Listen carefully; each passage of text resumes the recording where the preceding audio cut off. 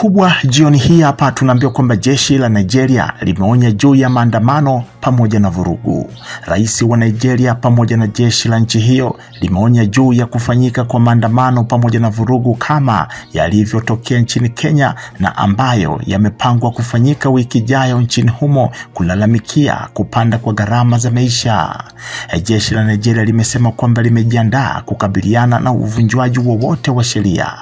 Rais Tinubu amesema katika taarifa kuwa hawaogopi maandamano bali wasiwasi wao ni kuhusu usalama tu wa raia pamoja na uharibifu ambao huenda ukatokea. Kiongozi huyo ametoa mwito kwa raia wa nchi hiyo kuwa waangalifu na kuonya juu ya kugeuza Nigeria kuwa ni kama Sudani, akiashiria vita vya wenyewe kwa wenyewe vilivyodumu kwa miezi 15 katika nchi hiyo ya kaskazini mashariki mwa Afrika.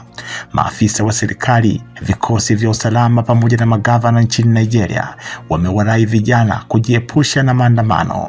Baadhi ya viongozi wameshutumu waandaaji wa maandamano hayo kwa uhaini na kuwa na nia ya kuiumbisha taifa hilo.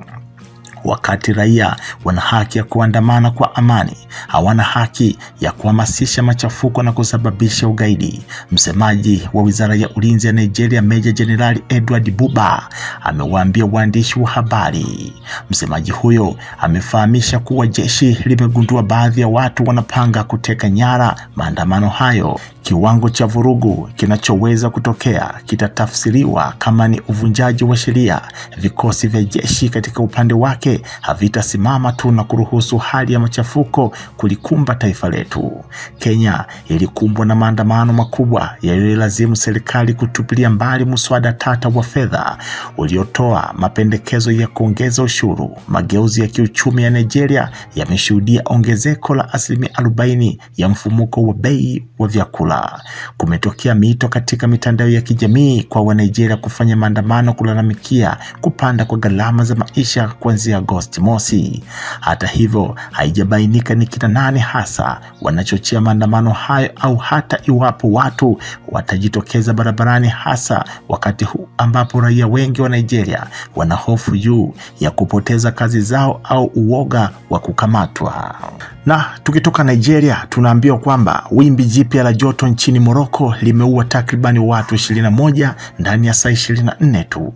Watu 21 wamefariki katika muda wa saa 24 katika mji wa Beni katikati mwa Moroko kutokana na wimbi jipya la joto linaloikumba nchi hiyo katika kipindi cha mwaka wake wa sita mfululizo wa ukame. Wizara ya afya imesema hivi punde.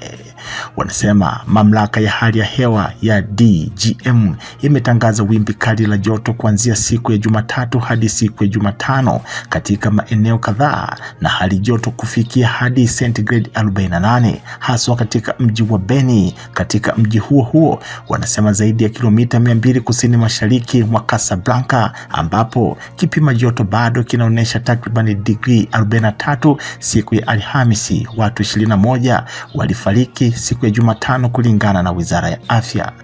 Vifo vingi vinahusu watu wanaougua magonjwa sugu pamoja na wazee. Joto la juu limechangia kuzorota kwa hali yao ya afya na kusababisha vifo. Kurugenzi ya afya katika mkoa imesema katika taarifa yake kwa vyombo vya habari. Wizara ya afya imetangaza hatua za kukabiliana na athari za joto, hasa kuanzisha saa za kudumu ndani ya vituo vya afya katika mikoa inayoathiriwa na kuongezeka kwa joto, pamoja na uhamasishaji wa wataalamu wa afya na utoaji wa dawa na vifaa vya hospitalini. Wizara haikuweza kubainisha mara moja ikiwa ndiyo idadi kubwa zaidi ya walioaga dunia baada ya wimbi la joto kali nchini humo, kulingana na utabiri wa hali ya hewa. Hali ya joto inatarajiwa kushuka katika siku zijazo, huko katika mji wa Makle kusini, ambako hali ya joto imefikia digrii 45 siku ya jana Alhamisi, itapungua digrii kumi siku ya Jumapili kulingana na DMG. Wanasema Moroko ilikuwa tayari imerekodi rekodi ya joto msimu huu wa baridi na mwezi wa joto zaidi wa Januari kurekodiwa katika nchi hii ya kifalme tangu mwaka 1940. Wanasema karibu sentigredi 37 katika maeneo mengine kulingana na DGM. Wanasema mtandao wa European ulitabiri kwamba rekodi ya kila siku zingepitwa na msimu huu wa joto katika ulimwengu wa kaskazini na kwamba sayari itastahimili kipindi kirefu cha joto kali kutokana na mabadiliko ya hali ya hewa. Nchini Marekani tunaambiwa kwamba Barack Obama amemuunga mkono makamu wa rais Kamala Harris kuwa mgombea wa urais wa chama cha Demokrat na hivyo kumaliza uvumi kuhusu iwapo angemuunga mkono rais wa zamani Obama na aliyekuwa mama wa taifa Michelle Obama. Wamesema katika taarifa ya pamoja kwamba wanaamini Bi Harris ana maono, tabia pamoja na uwezo ambao unahitajika katika kipindi hiki kigumu. Bwana Obama ameripotiwa kuwa ni miongoni mwa zaidi wa demokratia mia moja mashuhuri. Bi Harris alizungumza nao baada ya rais Joe Biden kutangaza tu Jumapili iliyopita kuwa anajiondoa katika kinyang'anyiro hicho. Katika taarifa wakati huo, bwana Obama alipongeza kuondoka kwa bwana Biden, lakini hakumuunga mkono Bi Harris.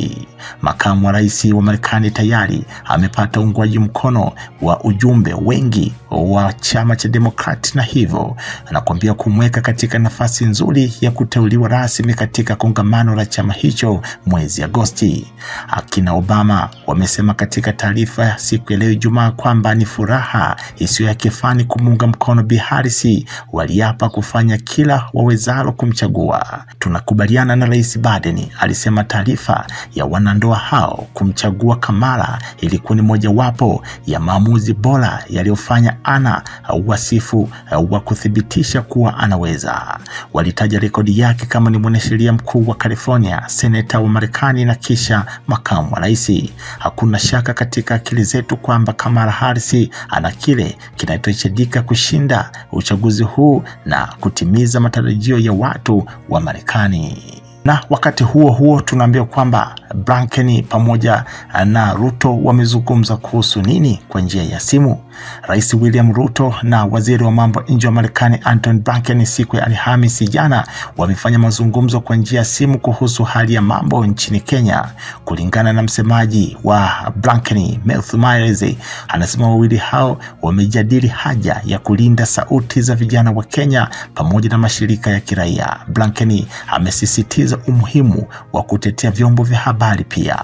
Maeleze amesema waziri huyo wa mambo ya nje ya Marekani pia amemtaka Ruto kuhakikisha kuwa vikosi vya usalama nchini vinawajibika kwa vitendo vyao. Katika wito pamoja na rais wa Kenya, Ruto amesisitiza haja ya kutetea na kulinda sauti za vijana pamoja na mashirika ya kiraia na vyombo vya habari. Katibu pia amesisitiza kwamba vikosi vya usalama vinahitaji kuwajibika. Msemaji alisema katika taarifa yake katika mtandao wa X zamani ukijulikana kama Twitter.